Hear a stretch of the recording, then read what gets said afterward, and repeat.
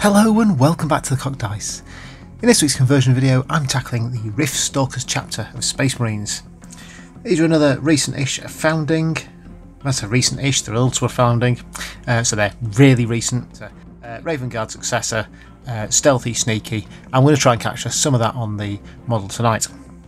I'm going to be using an Assault Intercessor rather than one of the Phobos Marines, because um, obviously they're going to have to have the kind of normal Intercessor type as well. We're going to try and tech him up a little bit, but also lighten him up. So I'm going to use some Phobos shoulder pads. Really like these. They've got a really cool kind of unique shape to them. I'm going to use some of the Phobos weaponry as well. So we're going to go with a kind of carbine style bolt rifle. I'm going to swap out um, the ammo clip for uh, auto bolt rifle ammo clip, and then we'll drop it onto a super hand, which is this hand flamer hand here. What I really wanted to do was represent their kind of lineage a little bit. So instead of a power fist, this guy's going to get some sort of lightning claw. I know, strictly speaking, you can't have lightning claws on a squad sergeant, um, but it can be a power claw and, and, used as a power fist. And then for the rest of it, I've just grabbed a load of bits, mainly from various Phobos kits. Um, we're going to add these extra aerials, scanners to his shoulder, his shoulder and his backpack, that sort of stuff, uh, but all built on top of a standard um, intercessor style marine. Your first job really tonight is going to be getting this marine's body stuck together and on a base. So whilst he dries off, we're going to get on with the rest of the model now. I think we'll start with some sort of lightning claw hand and this is bit where I'm really worried that this goes wrong. The other hand's easy comparison to this one.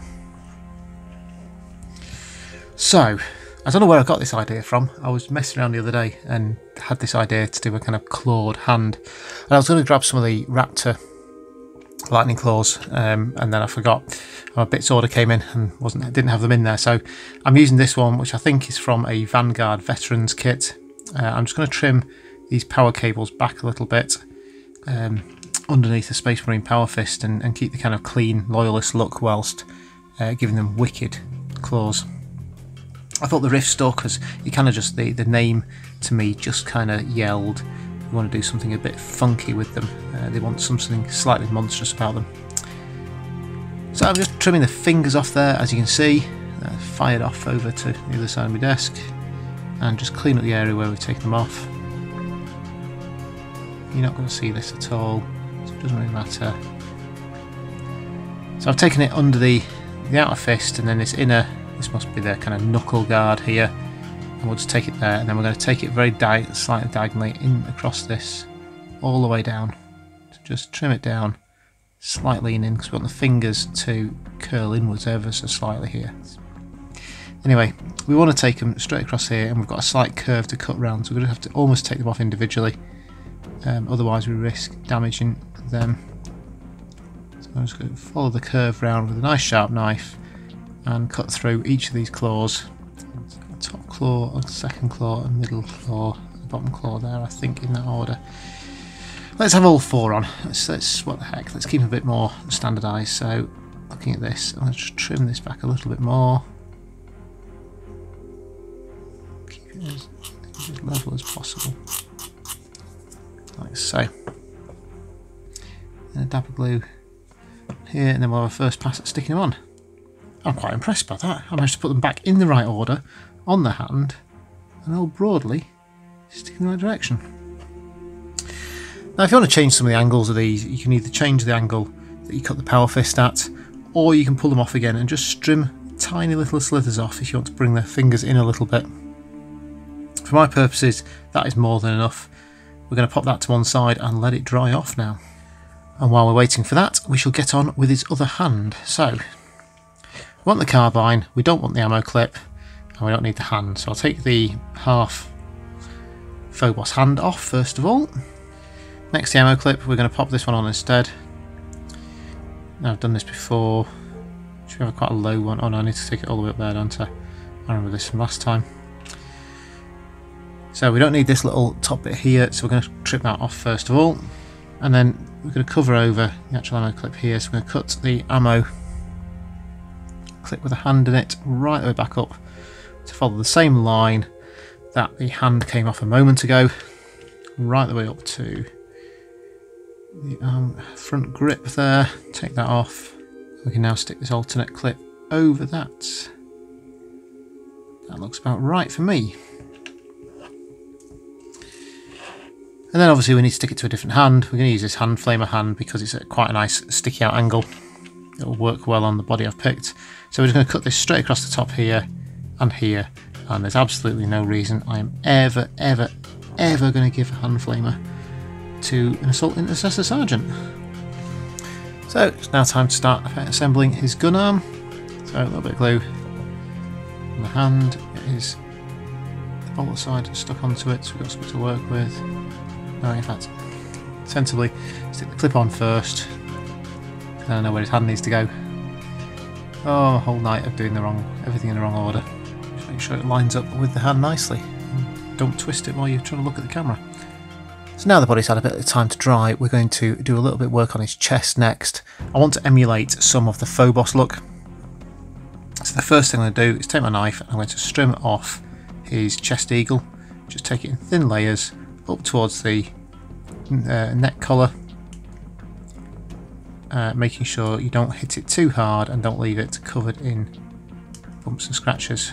So now that's all cleaned up, we're going to pimp up this chest a little bit. The next thing I'm going to do as well, I'm going to remove these shoulder pegs because I don't need them on this model. Uh, I've swapped his arms. So an easy build, uh, one from Indominus or one of the starter sets or probably one of my leftovers from Indominus, I've got loads of them a bit of glue on the chest. I'm going to add these uh, ammo uh, grenade packs from um, the Reivers kit, perhaps. Just like so. Into his chest. Try and bring a little bit of that uh, Phobos vibe into this armour. Uh, you can get stuff like this from either the, you know the Reivers. Um, there's loads in Deathwatch as well, hasn't it? Deathwatch have loads of cool chest bits. Is it grenades and packs? I don't know. I might have to go have a look at me bits box again. I've probably got some other ones in there as well. So that's looking pretty awesome now. Um, we'll start to pimp this marine out a little bit more. In fact, I'm going to add his arms now because they've probably dried off enough. Give him a head. I'm going with uh, an incursor head or an infiltrator head. I don't know. It's one of these ones from whichever the set is that's um, easy to build uh, that came with this, uh, not the starter set, the start collecting kind of ones. I think they're infiltrators, aren't they? Again, I haven't played 40k in so long. I'm starting to really miss it. Looking forward to gaming opening up again soon. Uh, probably, in fact, by the time this comes out, and we may well be playing 40k again. That'd be quite cool. So, so he's coming up. We're going to bulk, start bulking his shoulders up. We'll get those cool Phobos pads on. There you go. As you can see, we've got a kind of slightly stripped down look to this guy. Um, just gives it a different, uh, slightly different aesthetic, and that's that's the great thing about uh, Marines, especially the Mark 10 armor.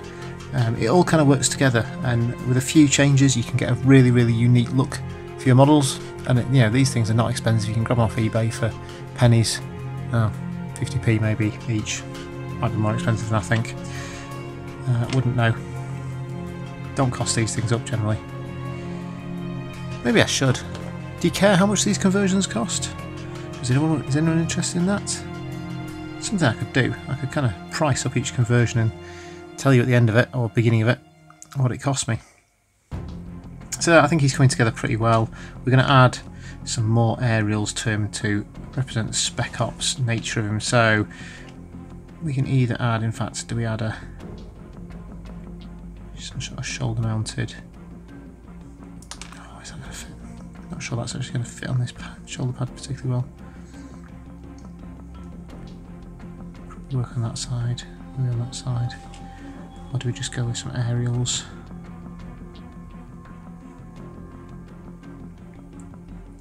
The all seems like a bit of a cop out, so I think we'll go with the uh, the cool scanner from. This is from the Incursors, isn't it?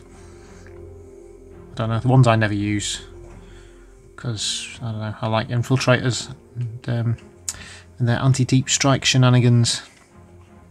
So because this is supposed to be fitted into a shoulder uh, into a backpack, I'm have to do a bit of surgery. I'm gonna trim around this first of all.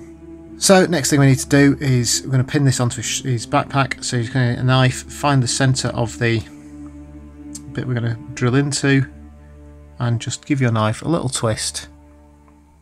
Start the hole off. It's a lot easier to do that than it is to just go ahead and try and drill in the centre. So just drill up, and I want to drill right through the post and into the backpack. And I'm hoping this drill bit is thin enough to fit through there just get your drill and run a little hole into there. So I'll start an angle and I'll straighten it up as I go in. And then grab yourself the most cunning of hobby equipment, a paperclip. And we'll stick that in there. And a bit sticking out the top, we'll just trim. I don't know how much off, not a huge amount. Not, all the way in first.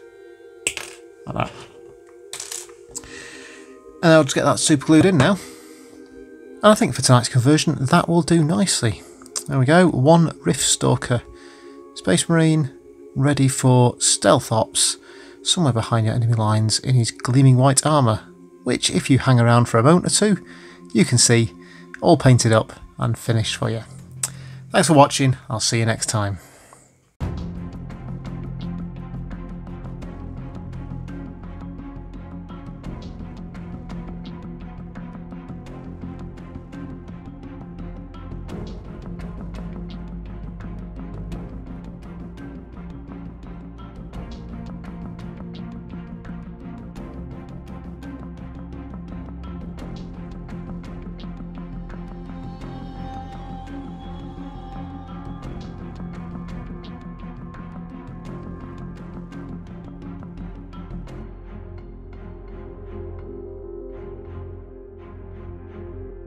And thanks for joining us here at the Cocked Dice. Why not like this video and add a comment below, it really helps boost the channel. And while you're at it, if you click on the icon below, you can subscribe to the channel for all the latest updates as soon as they're live. Why not check out some of our other videos and playlists? You can click on the ones on screen right now. Take care, and we'll see you next time.